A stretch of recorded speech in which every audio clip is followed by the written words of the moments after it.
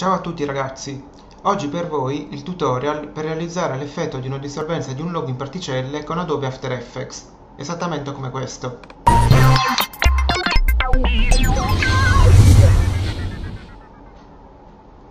Perfetto, tutto quello che vi serve è il plugin Trapcode Particular. Per iniziare creiamo una nuova composizione che chiamiamo Finale 25 fotogrammi al secondo e come durata possiamo mettere 20 secondi. Poi ovviamente sarete voi a decidere.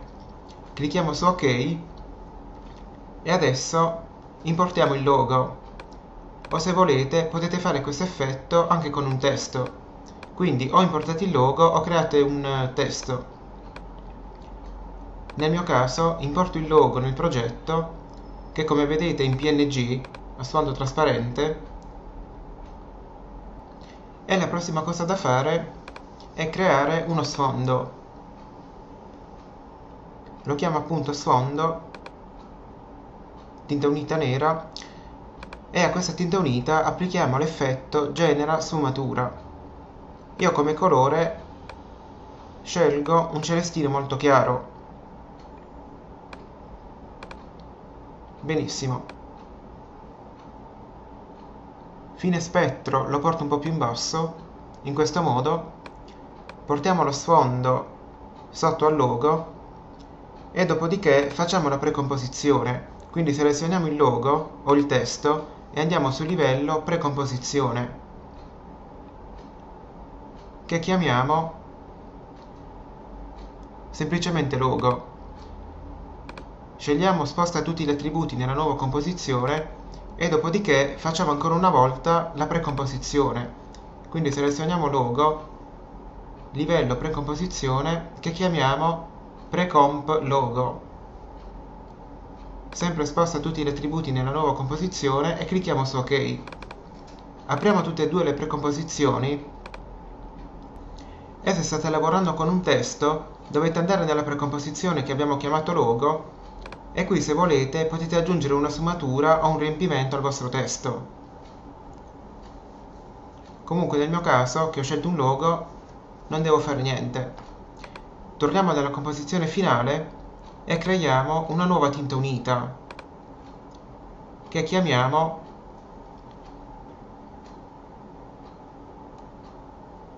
particelle grandi tinta unita nera e clicchiamo su ok. Applichiamo appunto l'effetto Trapcode Particular. Torniamo nella composizione Precomp Logo e qui dobbiamo creare una maschera rettangolare animata. Quindi selezioniamo il logo selezioniamo lo strumento maschera rettangolare e disegniamo una maschera così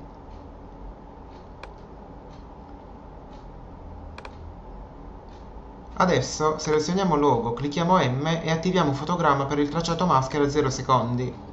Spostiamoci sulla timeline a 5 secondi e spostiamo la maschera dall'altro lato, in modo da avere questa animazione.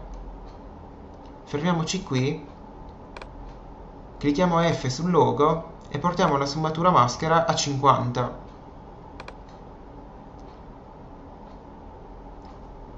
Benissimo, torniamo nella composizione finale e adesso possiamo giocare con il particular. Quindi apriamo le opzioni emitter e emitter type scegliamo layer. Attiviamo l'icona 3D a precomp logo che se non vedete vi ricordo dovete premere F4 sulla tastiera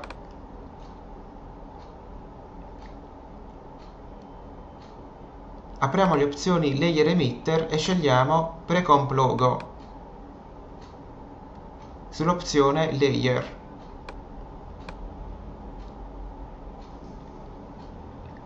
Layer Sampling scegliamo Particle Birth Time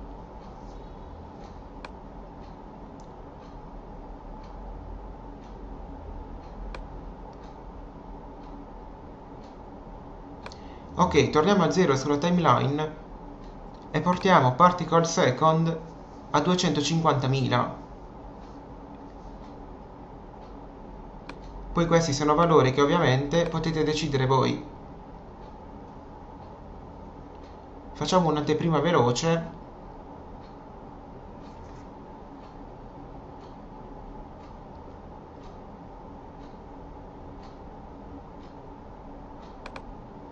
e avremo questo risultato. Portiamo velocity a 200.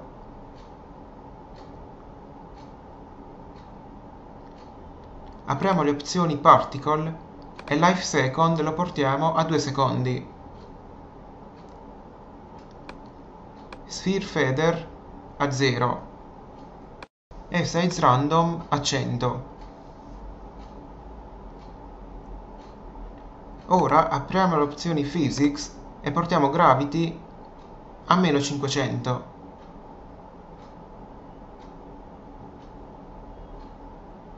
In modo che le particelle vadano verso l'alto. Poi apriamo le opzioni Air e portiamo Air Resistance a 1. Wind X a meno 100.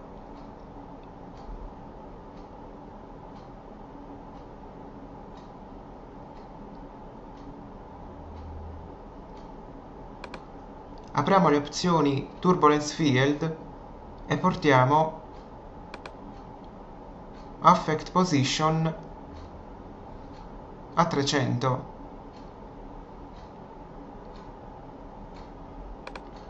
Fading Time 0,1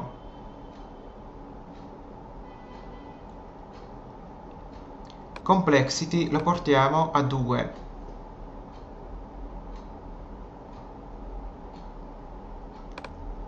Octave multiplier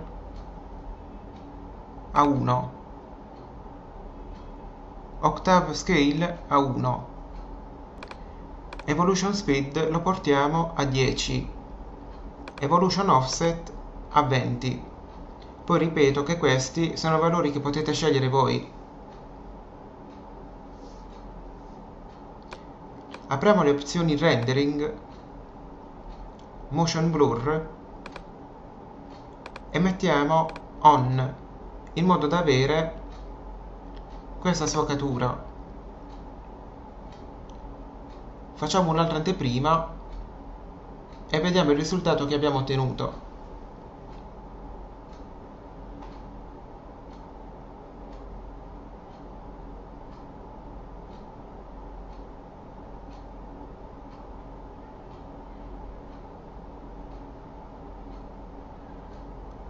il caricamento ovviamente sarà piuttosto lento.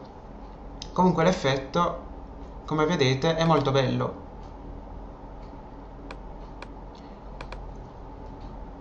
Ora duplichiamo le particelle grandi selezionandolo e premendo CTRL D e le rinominiamo particelle piccole. Selezioniamo le particelle piccole e andiamo a modificare alcuni valori qui ovviamente scegliete sempre precomp logo sul layer e size lo portiamo a 2 spostiamoci un po' in avanti e come vedete se attivate l'icona solo alle particelle piccole noterete che la dimensione è piuttosto ridotta. Aumentiamo random seed in modo che il movimento delle particelle sia diverso da quello delle particelle grandi qui possiamo disattivare questa icona in modo da vedere tutto di nuovo. Facciamo un'altra anteprima. Che adesso sarà ancora più lenta di prima visto che abbiamo aggiunto le particelle piccole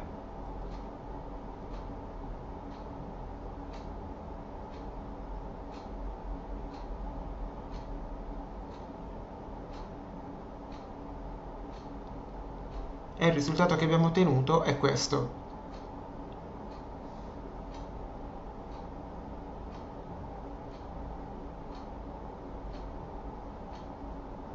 Ok, basta così, vediamo l'anteprima.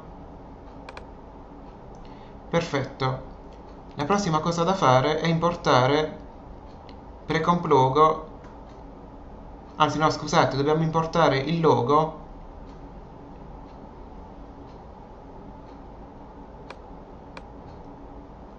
sotto apre comp logo. Spostiamoci a 0 sulla timeline e a questo logo applichiamo la transizione a comparsa lineare.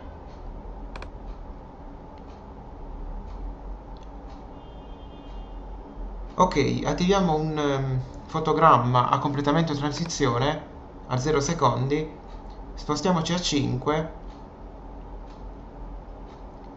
e portiamo il completamento transizione a 100.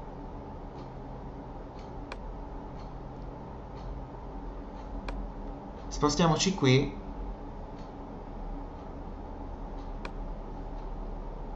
Attivo questa icona logo in modo da vedere solo questo e portiamo sfuma a 50 ok disattivo questa icona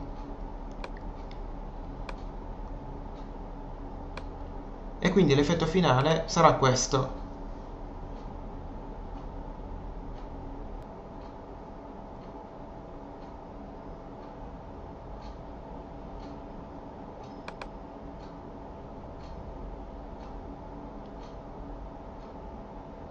Benissimo, e con questo abbiamo finito.